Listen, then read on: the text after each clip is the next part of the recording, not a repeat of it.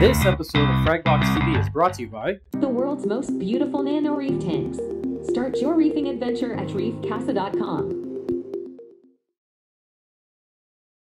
Going on, my reefing fan March here. This is Fragbox TV. Welcome to our store.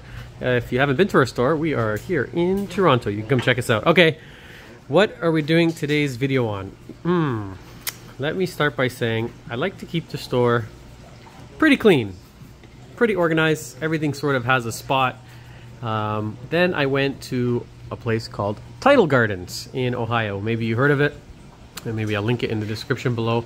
And I was taught about what the definition of clean and organized was. And then I came back super inspired thinking this store needs an overhaul. Just little things. That place, oh man, it really speaks to my um, ADD and ADHD and OCD. OCD, that's the word. Open this drawer to you. Let's show them our new frit. What? I just, it's just nice when stuff goes where things are supposed to go. No, close that drawer. Close that. Open the other one. We haven't got there yet. So I'm building a new frag station. Frag station? Frag room? Frag, what's the word? Frag, station. frag station. Yeah. Frag station in the basement. And I want to show you guys what we're doing because I think you guys would like to see it and we we got to mix it up. Sometimes we like to do videos on Tia's uh, amazing, uh, amazing Studio 12, or maybe we'll talk to you about crabs that are eating my uh, clams over here in our display tank. I went ahead and added another one.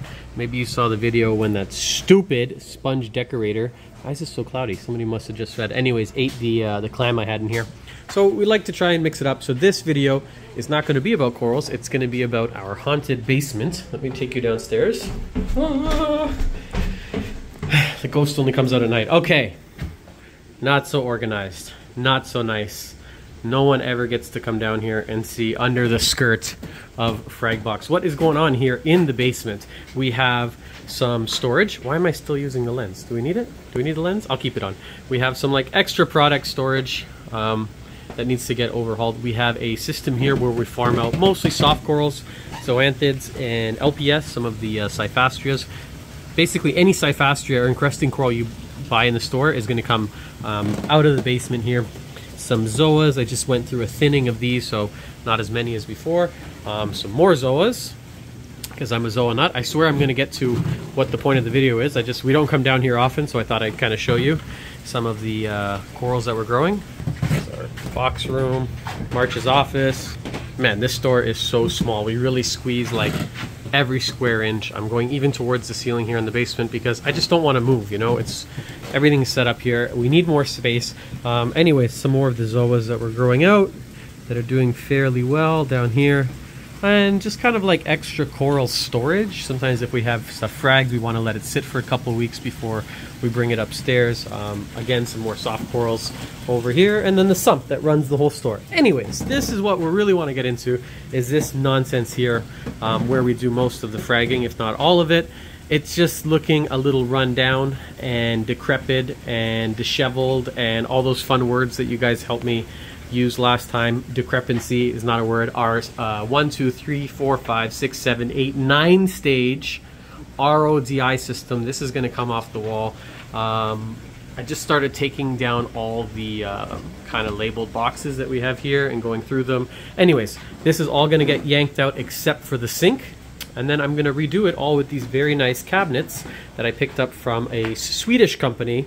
Uh, they do this custom cabinetry. They're really expensive. I'm just kidding. It's called IKEA. Hello. Very inexpensive. Measured it out. Tia and Dylan had the pleasure of building them all. And these cabinets are going to fill up this entire space. We're not going to see any more wires. We're not going to see anything anywhere. I want everything hidden behind doors super clean, super Tidal Gardens-esque. Now when I'm doing stuff, I ask, hmm, what would Than do? What would Than do? This is not how you do it. So, uh, yeah, I'm gonna get to work. I'm gonna rip out this momentarily, and I may even swap these out because they gotta be coming on like, mm, I don't know, seven years old. Is it time? Do they work? Sure. But presentation I think is quite important. Not just for me because I like things a certain way, but just for the staff to show them how things are done, how we keep things orderly and clean, and then, it, well, you know what? When it looks better and it's clean, it lasts longer and it gets more attention and care than just letting stuff go to shit. Um, yeah, so let me get started with that, and then we'll come back and look at the first part of the project, which will be right here. Underneath, I have this old frag tank that's full of muriatic acid, and what we use this for is to clean a lot of our racks here in the store. They just get covered with coralline over time. That's also going to get revamped. I'm going to build a new custom acrylic tank here with a pump that runs inline to help sort of mix all the muriatic, and that will just be sort of an extension of the project. And then I'll move on to the whole new frag table with a custom acrylic. I'm doing all the acrylic work myself. When I say custom, what I mean to say is March is going to build by hand a acrylic um, basin, sort of, kind of like homemade little sink, and it'll run six feet so we can set up both our bandsaws at the same time instead of having them sort of hidden away like this. We have five of them here in the shop because those are the, basically the tools of our trade. And I'm going to run a new six foot frag bench, frag station from here, and then it's going to actually have a bulkhead and pour into the sink with a hose so that we can grab the hose and then spray it all down. Okay, enough talking, start working. All right, all right. As my friend Jerry always tells me, demo, demo, demo. We got it all down. I'm just gonna put up sort of like a new header, ledger board, whatever you wanna call it. And then I'm gonna start putting up the top ones. I'm gonna reinstall this. I think I'm gonna change it. It's about time. I think I installed these when I first came to the store and they're just, they work. Maybe they'll be for sale if somebody doesn't mind. Maybe I powder coat them and just, no, no, you know what? We're doing new. Just do new. Just do it right. Boom, done. We have the first set of lovely IKEA cabinets up on the wall.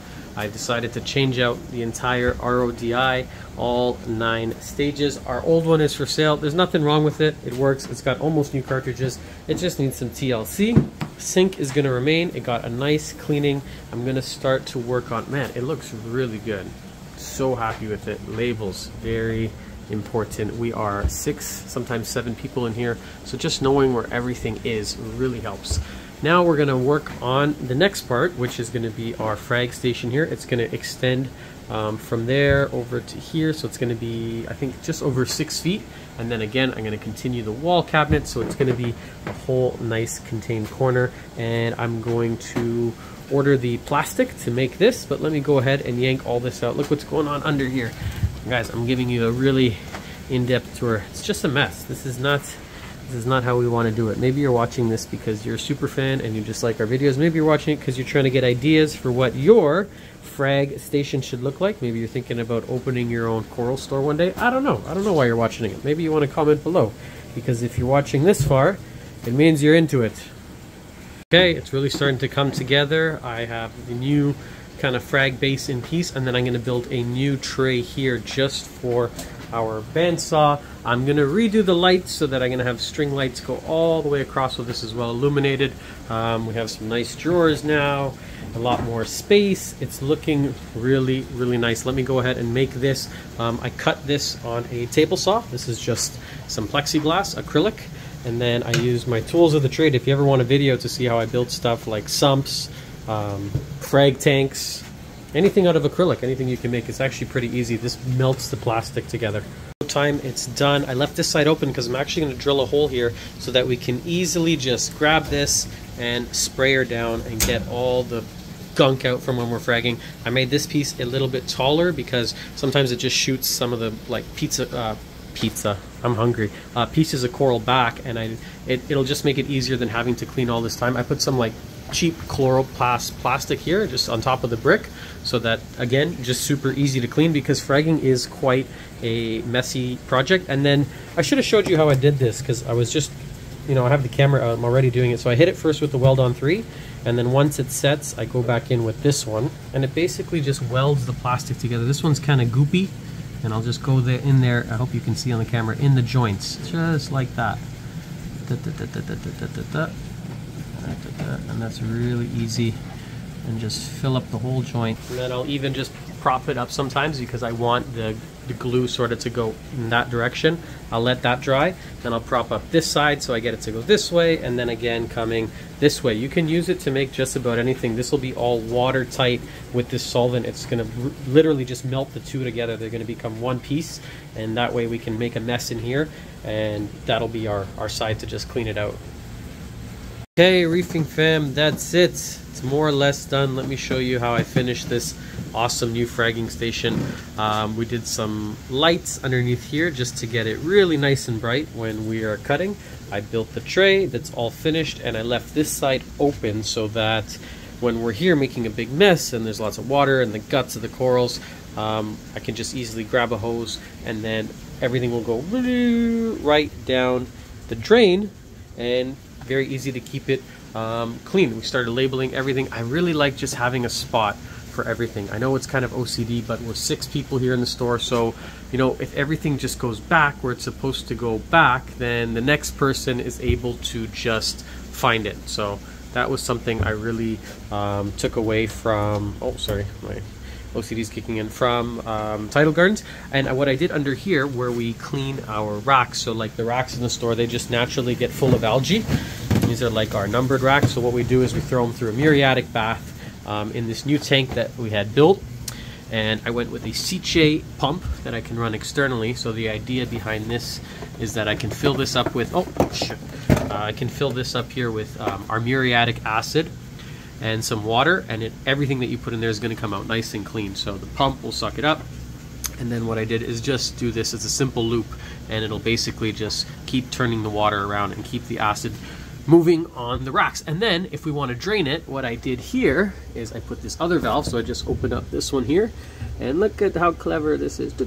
Right down, I just tapped into the, um, the drain here of the sink.